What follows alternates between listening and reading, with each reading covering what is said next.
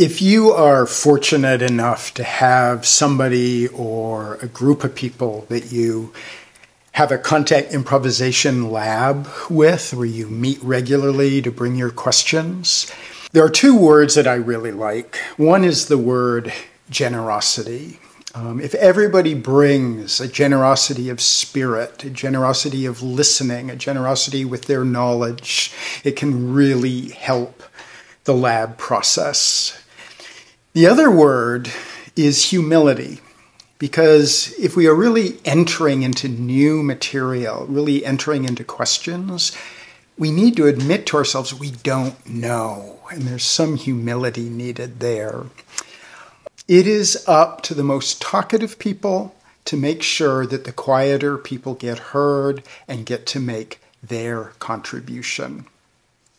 Uh, if you are looking for a lab question, you might show up with one, but if you're looking for one, it's really good to start with dancing. Um, and dancing is also, of course, great to warm up because very important in labs is to be warmed up for the question you are working on.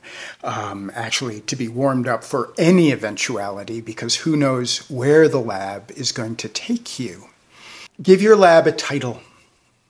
If you can agree on a title, it can be really focus making. So you might say, ooh, let's call it the mechanics of little lifts or the exhilaration of falling into the backspace. Um, create a title to help focus the work. There will be some people who already know something about the question. Let them empty their cup. Let them show what they know so that everybody can move on together into that place of inquiry. To create a balance, you want to balance three things talking, your movement research, and dancing. Is like each of those is important. And last little point is that there's a tension in labs, there's a tension in being in a question. And it's important to not jump on the first thing that comes along just to relieve the tension, but to stay in it for a while because it might be the fifth or sixth thing that comes along that's really the surprise discovery that comes along.